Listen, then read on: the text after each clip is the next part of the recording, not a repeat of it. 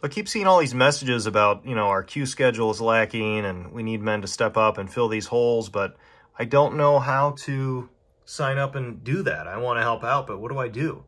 If you go to Google, type in F3 Black Swamp, look at that. We are number one out of over a million hits. That's always a plus. Click on our website and look at these. Now, I can't tell you how many burpees you have to do or what contests you need to enter to be featured on our main web page here, but here are your favored few.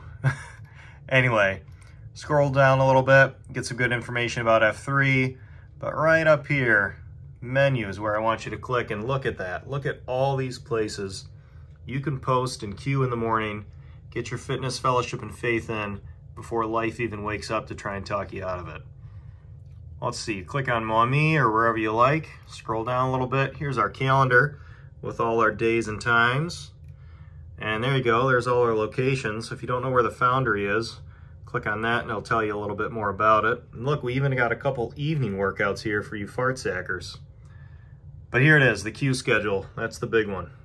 Click on here and you can see all you need to know about your uh, potential AO or Q site. Q is the site Q. You can reach out to them for uh, maybe some workout design help and stuff like that.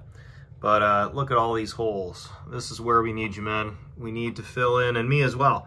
Need to get our names up here. But how? How do you do that? Because look, it's it's view only. What do I do?